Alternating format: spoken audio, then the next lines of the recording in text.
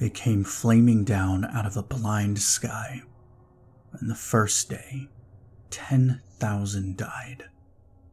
The screams rang in our heads, and the women ran to the hills to escape the sound of it. But there was no escape for them, nor for any of us. The sky was aflame with death, and the terrible, unbelievable part of it was the death. The dying was not us.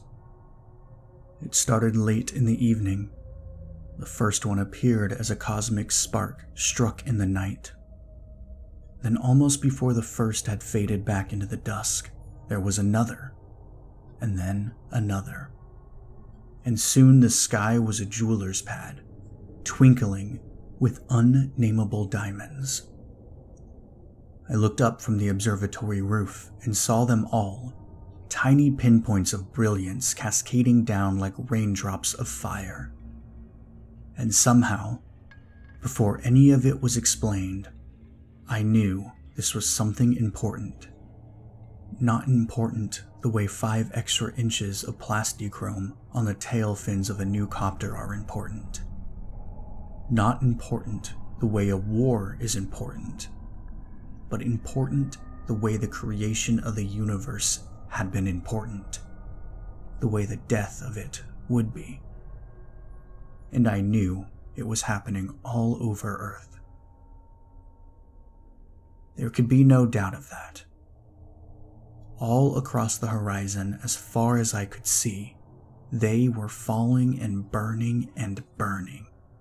The sky was not brighter appreciably, but it was as though a million new stars had been hurled up there to live for a brief microsecond.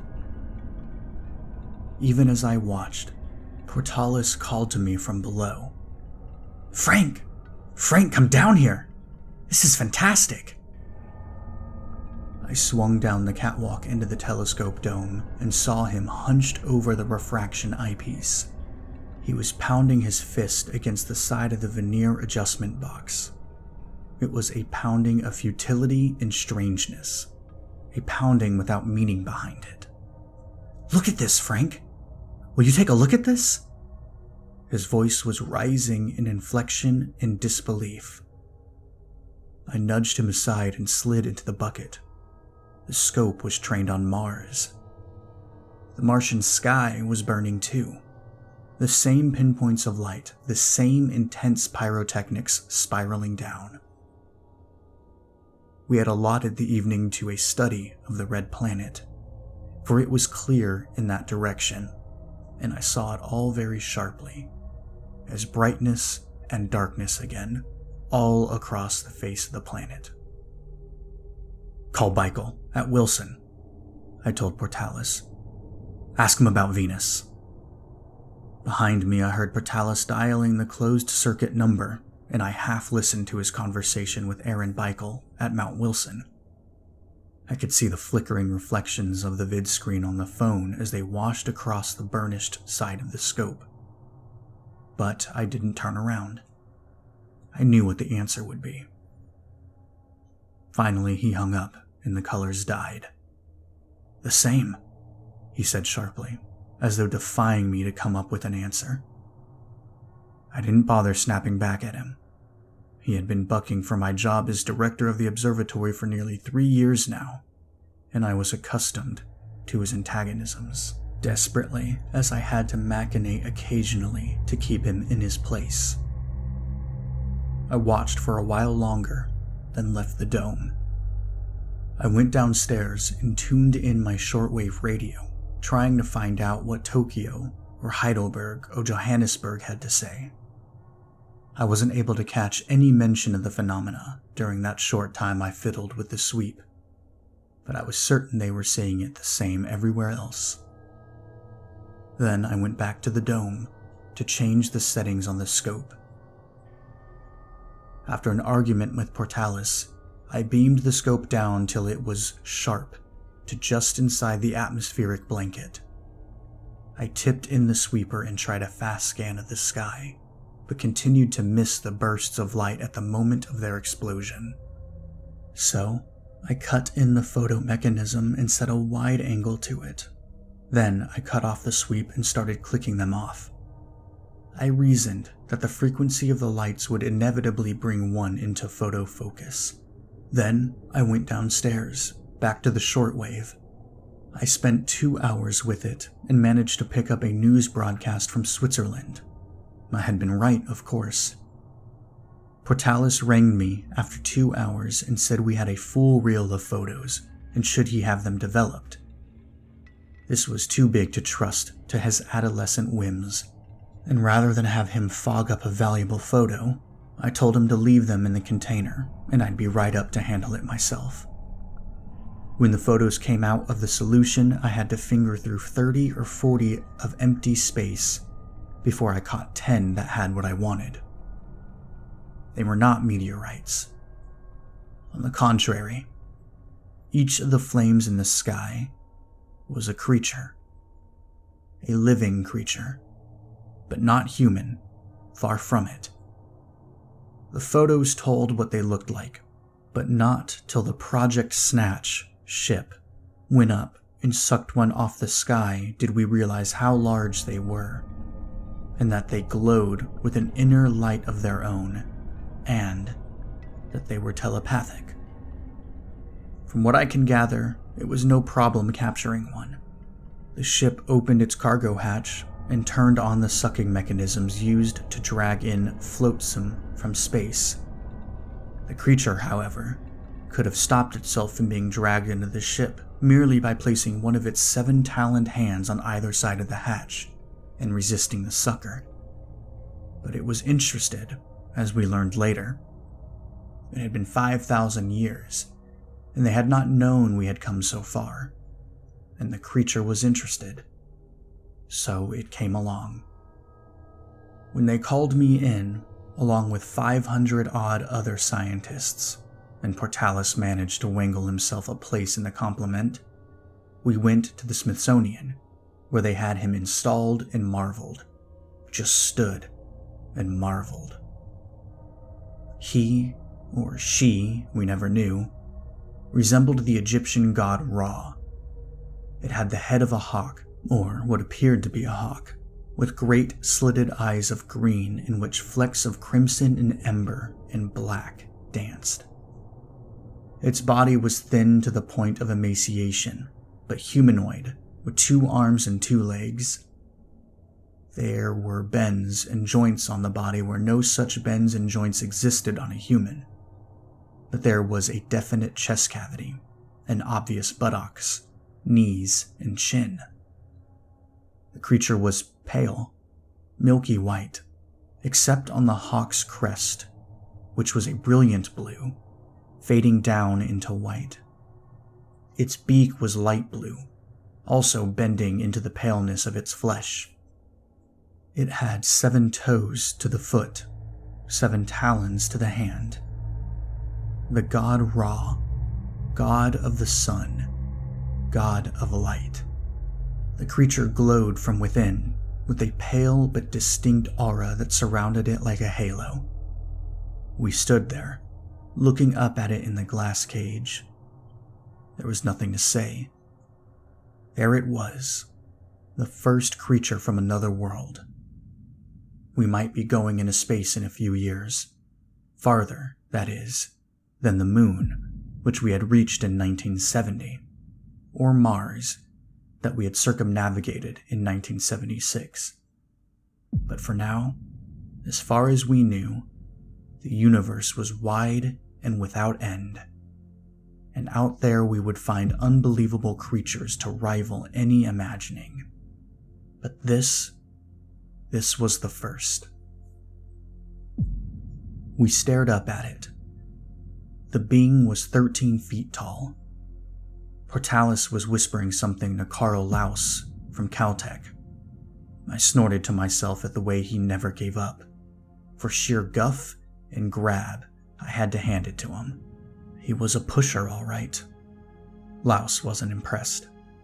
It was apparent he wasn't interested in what Portalis had to say, but he had been a Nobel winner in 63, and he felt obligated to be polite to even obnoxious pushers like my assistant.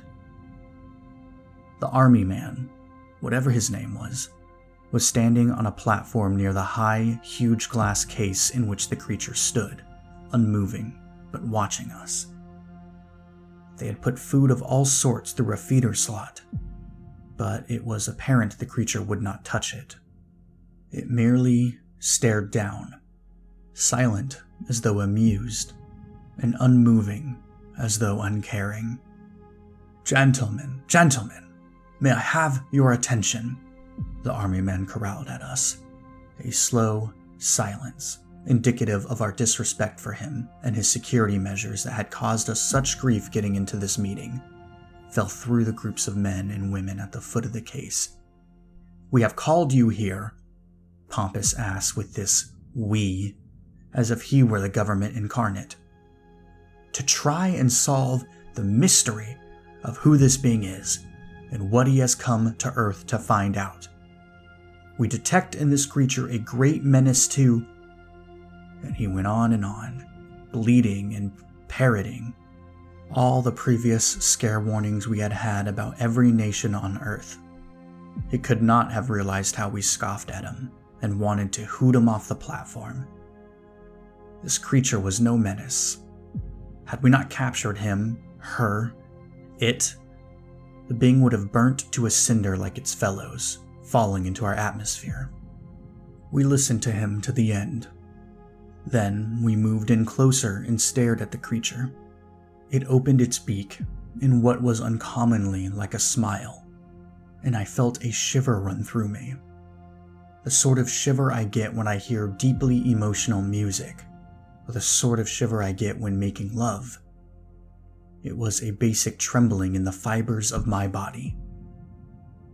I can't explain it, but it was a prelude to something.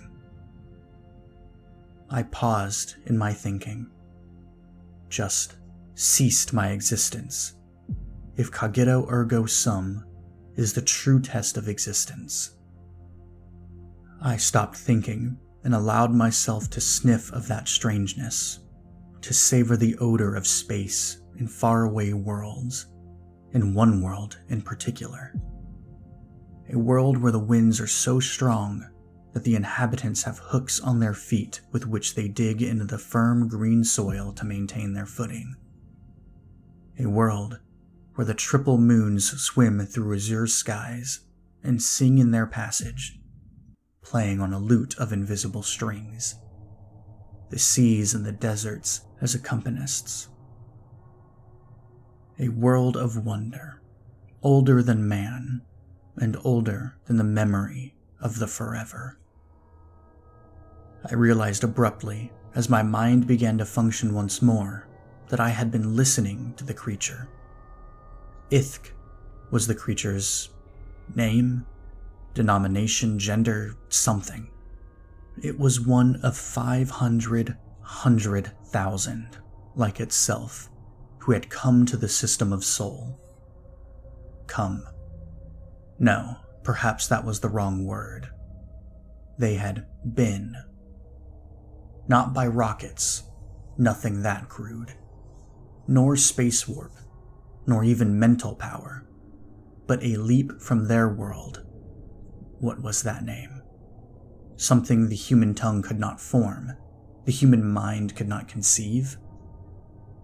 To this world in seconds. Not instantaneous, for that would have involved machinery of some sort, or the expansion of mental power. It was beyond that, and above that. It was an essence of travel. But they had come they had come across the mega galaxies, hundreds of thousands of light years, incalculable distances from there to here, and Ithk was one of them. Then he began to talk to some of us. Not all of us there, for I could tell some were not receiving him. I don't attribute it to good or bad in any of us, nor intelligence, nor even sensitivity. Perhaps it was whim on Ithk's part or the way he wanted to do it from necessity. but whatever it was, he spoke to only some of us there. I could see Portalis was receiving nothing. though old Carl Laus's face was in a state of rapture, and I knew he had the message himself. The creature was speaking in our minds telepathically. It did not amaze me or confound me nor even shock me. It seemed right. It seemed to go with its size and look, its aura and arrival. And Ithk spoke to us. And when it was done, some of us crawled up on the platform and released the bolts that held the case of glass shut though we all knew Ithk could have left it at any second had it desired. But Ithk had been interested in knowing before it burned itself out as its fellows had done, and it had found out about us little Earth people. It had satisfied its curiosity on this instant's stopover before it went to hurtling, flaming destruction. It had been curious. For the last time Ithk's people had come here, Earth had been without creatures who went into space, even as pitifully short a distance into space as we could venture. But now the stopover was finished, and Ithk had a short journey to complete. It had come an unimaginably long way, for a purpose, and though this had been interesting, Ithk was anxious to join his fellows. So we unbolted the cage which had never really confined, a creature that could be out of it at will. And Ithk was not there. Gone. The sky was still flaming. One more pinpoint came into being suddenly, slipped down in a violent rush through the atmosphere, and burned itself out like a wasting torch. Ithk was gone. Then we left Carl Laus leaped from the 32nd story of a building in Washington that evening. Nine others died that day. And though I was not ready for that, there was a deadness in me, a feeling of waste and futility and hopelessness. I went back to the observatory and tried to drive the memory of what Ithk had said from my mind and my soul. If I had been as deeply perceptive as Laus or any of the other nine, I might have gone immediately. But I'm not in their category. They realized the full depth of what it had said, and so, perceiving, they had taken their lives. I can understand their doing it. They just. just killed themselves, he babbled. Yeah, they killed themselves. I answered wearily, staring at the flaming, burning sky from the observatory catwalk. It always seemed to be night now. Always night with light. But why? Why would they do it? I spoke to hear my thoughts, for I knew what was coming. Because of what the creature said. What it said? What it told us. And what it did not tell us. Spoke to you? To some of us. To Laus and the Nine and others. And yeah, I heard it. But. But why didn't I hear it? I was right there. I shrugged. He had not heard, and that was all. Well, what did it say? Tell me, he demanded. I turned to him and looked at him. Would it affect him? No, I rather thought not. But that was good. Good for him and good for the others like him, for without them, man would cease to exist. So I told him. The lemmings, I said. You know the lemmings. For no reason, for some deep, instinctual surging, they follow each other and periodically throw themselves off the cliffs. They follow one another down to destruction, a racial trait. It was that way with the creature and his people. They came across the mega galaxies to kill themselves here, to commit mass suicide in our solar system, to burn up in the atmosphere of Mars and Mercury and Venus and Earth, and to die. That's all. Just to die. His face was stunned. I could see he comprehended that. But what did it matter? That was not what had made Laus and the nine other scientists kill themselves. That was not what filled me with such a feeling of frustration. The drive of one race was not the drive of another. But, but I don't understand. I cut him off. That was what Ithk said. Why did they come here to die? He asked, confused. Why here and not some other solar system or some other galaxy? Why not their own? That was what Ithk had said. That was what we had wondered in our minds. Damn us for asking. And in its simple way, Ithk had answered. Because, I explained solely, softly, this is the end of the universe. His face did not register comprehension. I could see it was a concept he could not grasp. That the solar system, Earth's system, the backyard of Earth to be precise, was the end of the universe. Like the flat world over which the Columbus would have sailed into nothingness. This was the end of it all.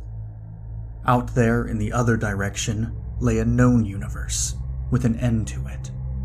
But they, Ith's people, ruled it.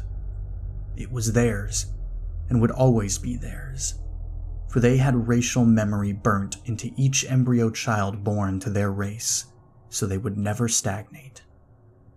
After every lemming race, a new generation was born that would live for thousands of years and advance. They would go on till they came here to flame out in our atmosphere, but they would rule what they had while they had it. So, to us, to the driving, unquestionably curious, seeking and roaming Earthmen whose life was tied up with wanting to know, needing to know, there was left nothing ashes, the dust of our own system, and after that, nothing. We were at a dead end. There would be no wandering among the stars. It was not that we couldn't go. We could. But we would be tolerated. It was their universe. And this, our Earth, was the dead end. Ithk had not known what it was doing when it said that to us. It had meant no evil, but it had doomed some of us. Those of us who dreamed, those of us that wanted more than what Portalis wanted. I turned away from him and looked up. The sky was burning. I held very tightly to the bottle of sleeping tablets in my pocket. So much light up there.